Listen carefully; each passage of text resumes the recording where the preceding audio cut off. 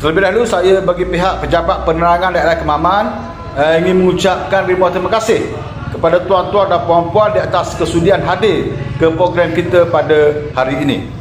Tuan-tuan dan puan-puan, dalam meluahkan rasa cinta pada negara, ayo kita sebagai rakyat Malaysia bersama-sama menggelorakan sambutan Hari Kebangsaan 2020 dengan mengibarkan jalur gemilang di kenderaan permis perniagaan maupun di kediaman masing-masing.